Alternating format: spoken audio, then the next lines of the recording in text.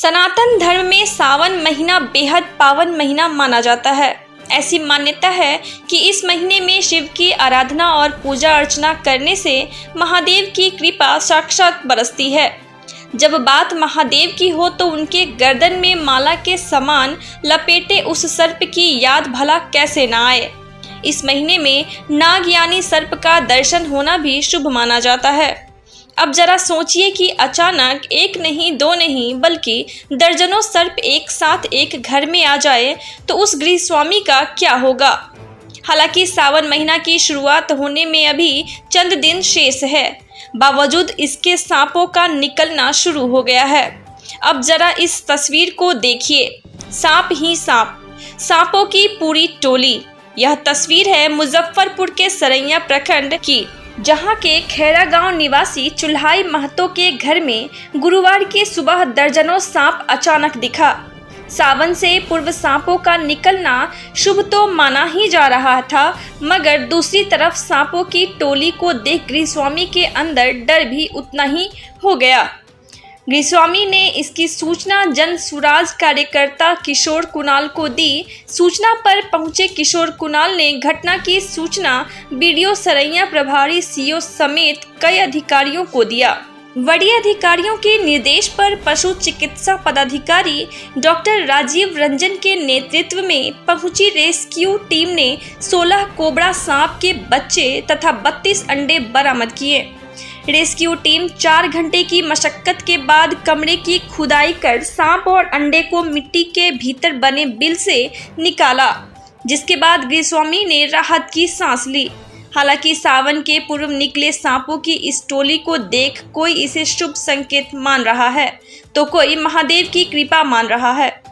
ज़ाहिर सी बात है कि यह घटना इलाके में कौतूहल का विषय बन गया है।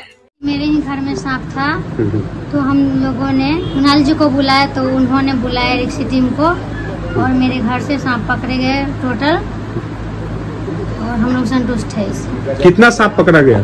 सोलह पकड़ा गया है और सोलह हम लोगों ने धीरे धीरे पकड़ के फेंक दिए हैं बाहर कहीं अच्छा। अलग जंगल में।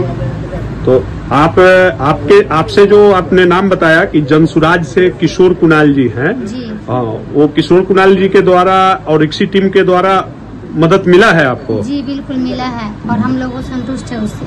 अच्छा। नहीं किशोर कुणाल जी बगल के बयान में बता रहे थे कि सुबह दस बजे से अभी पाँच बज रहा है उस टाइम दिन भर यहाँ ही थे रिक्सी टीम के जी, हाँ, साथ आए थे दस बजे से है यहीं पे। अच्छा। और जनसुराज से आपको मदद मिला? जी हाँ वो वही आए थे यहाँ पे। वही बुलाए हैं। मदद मिला है यहाँ पर हमारे एडीएम सर आपदा प्रबंधन मुजफ्फरपुर के द्वारा मुझे सूचना मिली कि खैरा गाँव में एक घर में ढेर सारा सांप का जखीरा निकल रहा है। तो इसकी सूचना पाते ही हमने ये सूचना हमारे वन प्रमंडल पदाधिकारी मुजफ्फरपुर को दी। उनके द्वारा निर्देश पाते ही तुरंत हम लोग उक्त स्थल पर तेज़ी से आए लगभग आधा से आधा घंटा से 35 मिनट के बीच में हम लोग स्थल पर पहुँच गए। और इस घर को जब हमने छानबीन किया तो 32 अंडे जो फूट चुके थे मैच्योर हो चुके थे उसके बच्चे आप देख रहे हैं कि इस डब्बे में 16 है जिसको हम लोग सांप का बच्चा स्नैकलेट्स कहते हैं। ये इंडियन कोबरा है और इस घर के तीन रूम को हम लोगों ने पूरे बारी बारी से गड्ढा खून के इसके जो होल होते हैं जो जिसको बिल कहते हैं ये अपना बिल नहीं बनाता ये चूहे के बिल में रहते हैं। और उसमें से अंडे के अवशेष भी प्राप्त हुए जो कि वहाँ पर है। अंडा थोड़ा सा दिखा दीजिए। अंडा उठा के लिया हुआ है अंडा है। तो इस प्रकार से ये इनके द्वारा बताया गया कि तेरह चौदह स्नैकलेट से ये कल अपने हाथ से नेचुरल हैबिटेट में छोड़ दिया गया इनके द्वारा। तो उस हिसाब से हम देखते हैं कि ये बत्तीस अंडे और ये पंद्रह इसमें से हमको मिले हैं। तेरह चौदह यदि ये सांप को बच्चे को पकड़ के यदि बाहर रखे होंगे छोड़े होंगे तो उस हिसाब से कैलकुलेशन सटीक बैठता है। हो सकता है कि एक दो मोर्टिलिटी भी हो।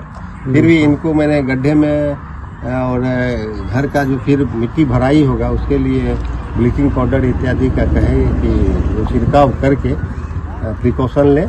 और फिर यदि सूचना प्राप्त हो यदि ऐसा कुछ लगे तो हम लोगों को सूचित करें। ग्यारह बजे के करीब जी सर। हमारा बगल का पंचायत है खैड़ा पंचायत। जी सर। खैड़ा पंचायत के खैड़ा गाँव से हमारे करीबी साजिद संजीत महतो जी कॉल किए कि भैया ऐसे ऐसे हमारे घर में पंद्रह सोलह सांप दिखाई दे रहा है। तो हम लोग कि तुरंत हम पहुँचे पाँच दस मिनट में हम यहाँ पहुँचे और पहुंचकर इसका जायजा लिया तो वास्तव में छह सांप एक साथ निकला। फिर उस बिल्ली को हम लोगों ने दबा दिया और दबाने के तुरंत बाद मैंने आ, सरैया सीओ तो सरैया सीओ अभी छुट्टी पे है पारू सीओ प्रभार में है। पारू सीओ और उसके बाद आपदा एडीएम मुजफ्फरपुर। जी सर। मैंने भी कॉल किया और सीओ साहब ने भी कॉल किया। इन दोनों के कॉल के बाद इन्होंने फॉरेस्ट विभाग की जो हमारे डीएफओ साहब है उनके माध्यम से राजीव सर यहाँ डॉक्टर राजीव सर आए थे स्नैक टीम में जिन्होंने जो टीम का प्र- के प्रतिनिधित्व कर रहे थे टीम लीडर थे और उनके माध्यम से अभी देख रहे होंगे हमारे हाथ में सांप है जिसमें 16 सांप है। जी सर। इसको कोबरा भी बोला जाता है। जी सर। बिहार में कोबरा है और उसके साथ 32 अंडे मिले हैं। ठीक है?